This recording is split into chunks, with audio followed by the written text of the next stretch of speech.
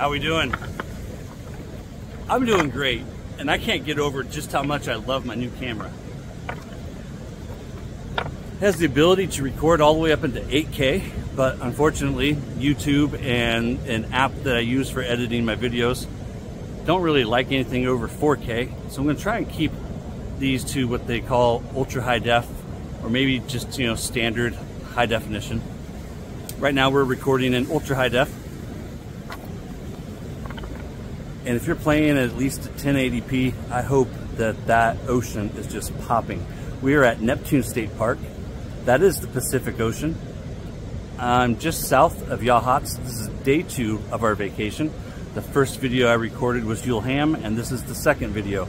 And this is my full review of Neon Moon, a collaboration between the wet shaving store, Andy Amaya, and Hendrix Classics, Pete Hendrix.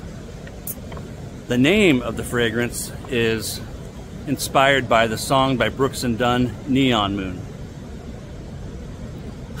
The fragrance has absolutely nothing to do with the song or really even the name. But I do love this label. The fragrance. Let's talk about it in just a second. kick these shades off. At the end of the shave, uh, I'll have a B-roll showing you a 360 of my surroundings and proving to you that that is not a green screen and I am really here. That's a question that I get, oh, at least a couple of times a month. I'll get a question whether or not it's a green screen or that kind of thing, or if my shave of the day photos are uh, AI generated. They are not. Everything I do is absolutely real. The only thing would be is whether or not I'm using lighting to my advantage. Let's get this going. I have had Neon Moon for quite a while now. When I received Biumo Tattoo Club, that Shave Dad collaboration, is when I first received this. So I've been using this off and on for the last month or more. Got a handful of shaves in on it. I have the matching splash. I'll be using that, that at the end of the shave, of course. The fragrance, and one of the reasons why I wanted to do it here so this is one of those fragrances that you're either going to love or you're not going to like it. So I'm going to do my best to describe to you guys what it smells like and then the occasions that I feel like this would be best suited. If you're familiar with Tide laundry detergent, you might have an idea of what this smells like have it on the back of my hand. There's an oceanic fragrance to it. If you saw my Yule Ham or if I've uploaded it already, I forgot my shave bowls. So I'm using these plastic cereal bowls. Don't want to overdo my water here. My G5C from AP Shave Co.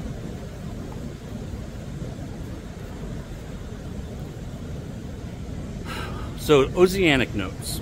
There's a lemony iskness to the fragrance. It very much smells though like fresh laundry detergent.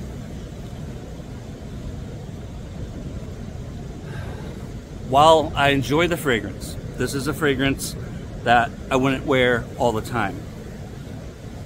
The wife gives it a 7. Emily also gives it a 7.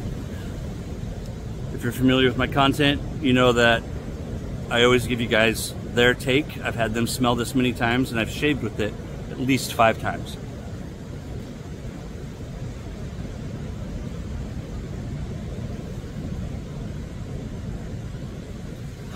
This is a very invigorating fragrance, perfect for the morning be great for like the office. I don't know that I would wear it on a night out.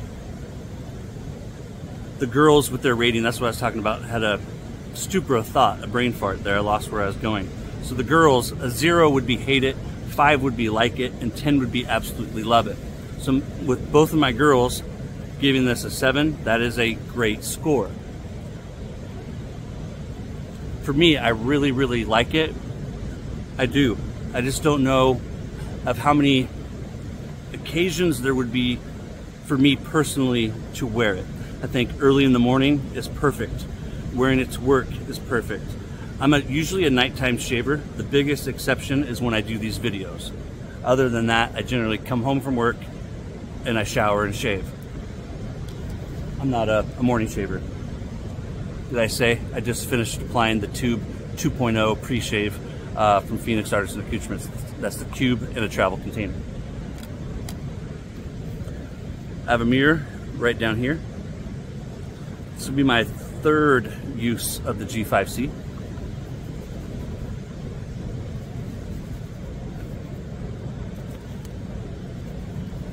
It is low tide.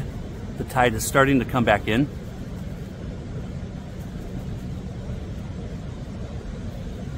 Look at that. Pete's base is absolutely fantastic. This will be available February 17th. Right now, as I'm recording this, it's February 10th, so this will release one week from today. Plane flying overboard, did you guys see that?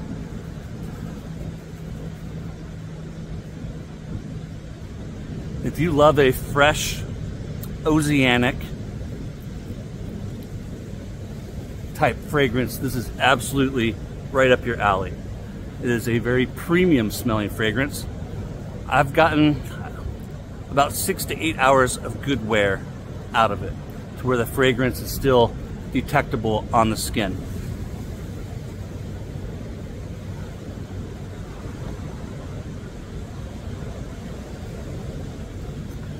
My rinse bowl.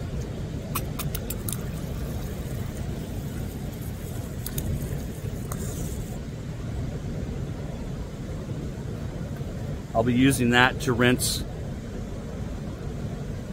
my Mühle Rocca. I brought two razors with me, both Mühles. And it has a first use platinum strangelet. Look at that backdrop, I love it. My new camera is the Samsung Galaxy S24 and I couldn't be happier with it.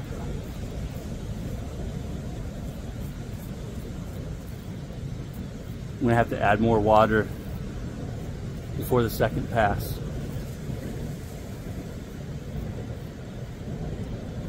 I'm still working on developing a scoring system. I want it to be scientific and something that I can apply time and time again and the type of system that if I were to look back on it a year from now or two years from now,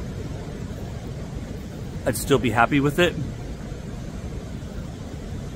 And I'll end up sharing that whole process with you guys in a Rambles, Rants, and Razor video.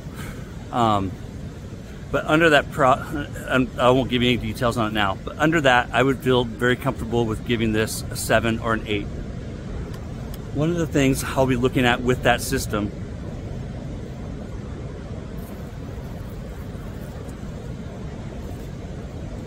is uniqueness. How unique is the fragrance? What is the probability of you or myself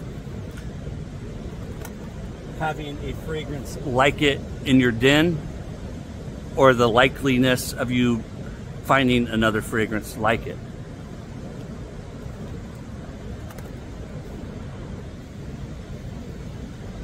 They really don't get much more unique than this. One fragrance that this kind of reminds me of that you can no longer find uh, and it's it's different. It's still vastly different.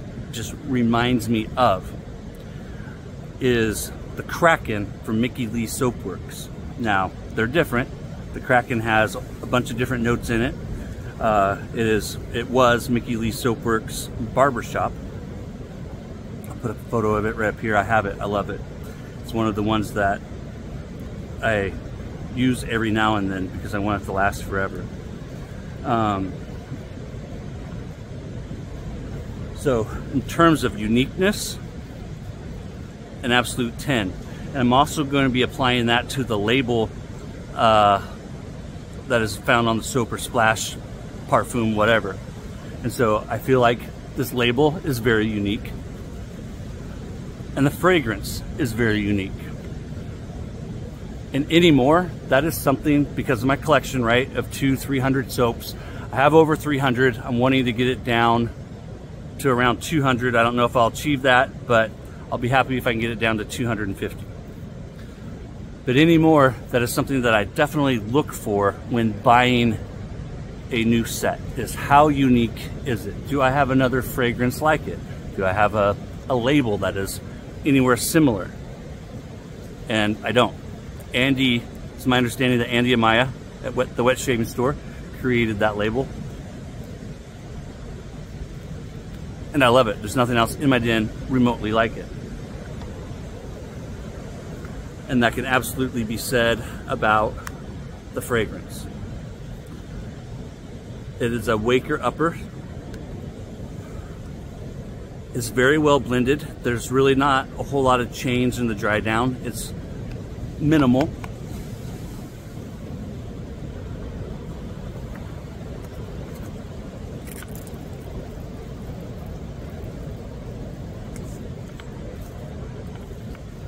Did I say I have a mirror right down here? I do. I have you guys hanging in a old bushy thing that's actually, this part of it is dead. You'll see that in the B-roll here in a minute. So if you're looking for a unique, fresh, oceanic, with hints of citrus, this fragrance is right up your alley. If you don't like the sound of laundry detergent, you might not want to buy this, but I'm here to tell you that it is, while it does smell like fresh laundry detergent, it's wearable. If it wasn't wearable, I would say it. And that's one of the things that you guys may know that I love about Phoenix Artisan Accoutrements is that they take things that you wouldn't think would be wearable or applicable to wet shaving and they make it wearable. Now, you saw my Yule Ham video, Yule Ham being wearable is highly debatable. For me, I don't think Yule, Yule Ham is wearable, but I still do marvel at the fact that Doug and Fran were able to create a fragrance that smells like a Christmas ham. And here, with this fragrance, Neon Moon, is the exact same thing, except for this is wearable. I think a lot of women will love this on you because you're going to smell fresh and clean and inviting. Women will love this fragrance on you. Will all? I don't know, but I think that this very much will be the kind of fragrance that you can expect a woman to want to get closer to. And for me personally, that is one of the things that fragrances are all about.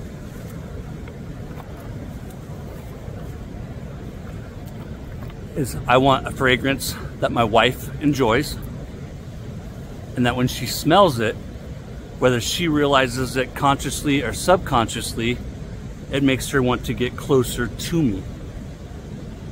And if you're a single guy, you want a fragrance that gets you noticed and then does the same thing. And that's one of the reasons why I personally, when it comes to wearing uh, perfume or colognes, I don't like it there to be too much projection. I don't want, there's two different thinkings with fragrances, with parfums and, and splashes, right?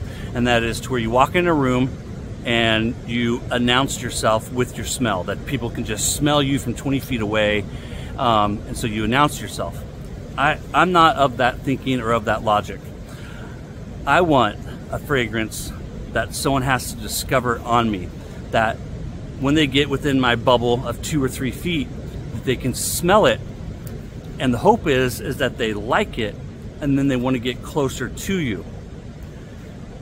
And if you're a single guy and you're going out to the club or whatever i think it's and you're trying to attract you know a romantic partner right that it is to your advantage to have it close to the skin that way when you do get the attention of someone that they draw close to you. This fragrance would fall into that discovery category to where there's only a couple of feet of projection. It's very close to the skin. There is a decent sillage, meaning that when you walk, it leaves a little trail behind you. Think of a boat going through the water and how it leaves a wake behind you. That's sillage. And that is the kind of thing too, that as you walk by someone, they discover you. Uh, they don't notice it as you're approaching, they notice it after you pass. And that's the kind of thing that will get them to turn their head and be like, damn, you smell good. I think that Neon Moon falls into that category as well. Looking to see where I set my stuff. I only brought my one stool with me, my collapsible one from Bass Pro Shops that Lucas, our son, got me for Christmas a couple years ago. I think two years ago, two Christmases ago. The Everlasting Alum Bot from Phoenix Artisan Accoutrements.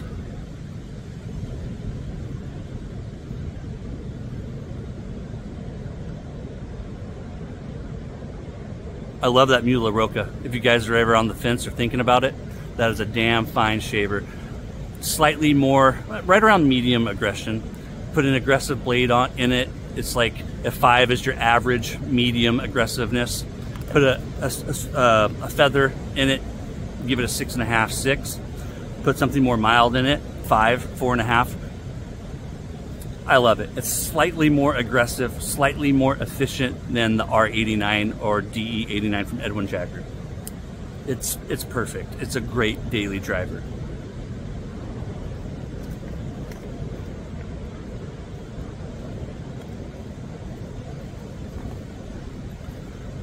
I always say this in my outdoor videos, I'll say it again. Normally I would let the alum sit for two or three minutes while I clean my gear but the effort of time in this video, I'll just apply it and then go straight to my splash. Very lemony off the top, citrusy, a good lemon. It's good stuff, Maynard, it really is. Um, I'm just trying to be very honest with you guys. Um, I don't want everyone to create FOMO, and it doesn't do me or the artisan any good if I over hype something and then you buy it and you don't like it. So that's why I just want to caution that what it smells like. Um, because this is the kind of fragrance that some guys aren't going to want to wear. But I think that overall, most guys will enjoy this fragrance. And what I enjoy most about it, if I had to, you know, it's that uniqueness. This is so unique that there's nothing else like it in my den and considering you know they have 300 plus soap sets i don't know 70 different fragrances you know uh, solid colognes parfums edts you know right that's saying a lot i mean i think that is saying a whole lot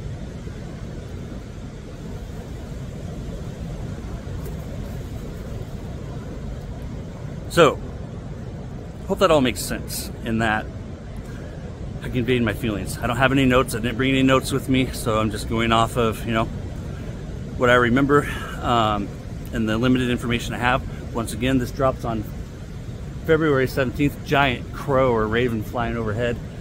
Hopefully it comes in the screen. That last shave that I did with Dragon, he never did. No, he went that way. Has anything flown over my head behind me? I like when I edit the video, I sometimes see things that I didn't notice when I was doing the shave um, that last shave review, Year of the Dragon, I didn't notice that some people walked by um, on the road. You may not even noticed it, but I noticed it when I was editing it. My go-to post-shave balm, Mysterium Serum from Phoenix Artisan Accoutrements. Shoot, I didn't say it at the beginning of the video. It was kind of implied. I did not pay for the soap and splash. Everything else in the video except for the shave brush. My mama gave that to me. Thank you again, mama. But the soap and splash, I did not pay for. That was sent to me for review by Pete Hendrix and Andy Amaya at the Wet Shaving Store. Thank you, Andy. Thank you, Pete.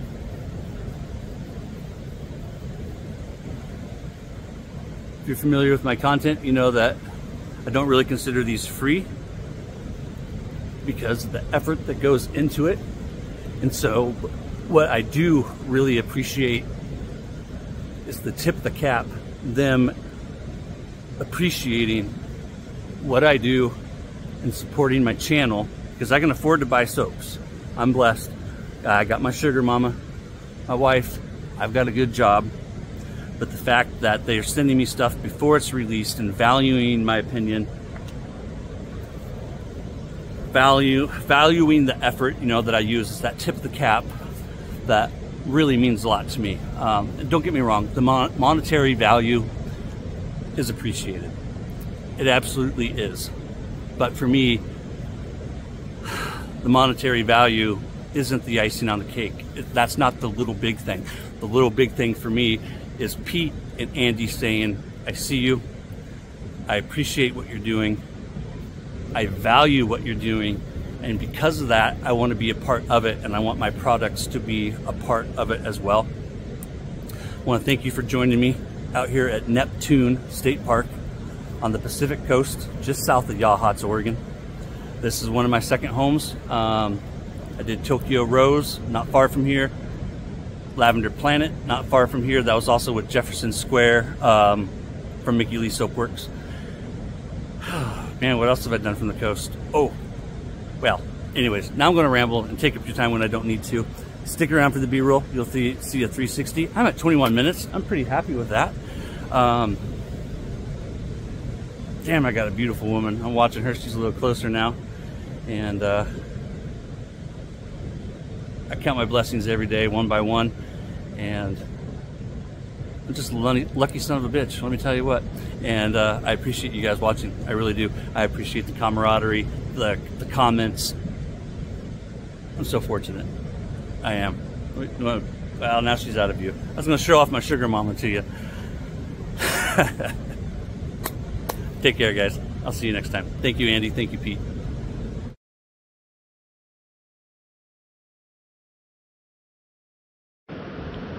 Welcome to the B-roll. How did that shave go? I can't tell you guys how fortunate and blessed I feel to live in the Pacific Northwest.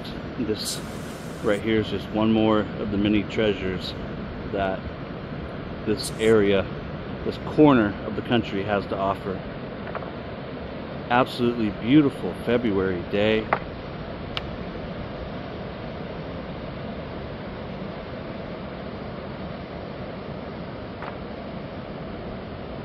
Wife and Luna probably won't be able to see her because of the sun, but they're down yonder. My setup.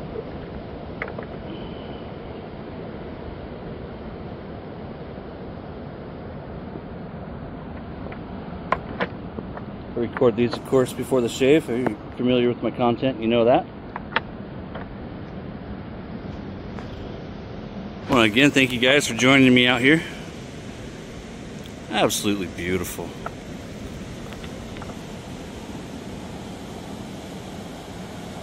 You guys take care. Thanks once again for joining me at Neptune State Park.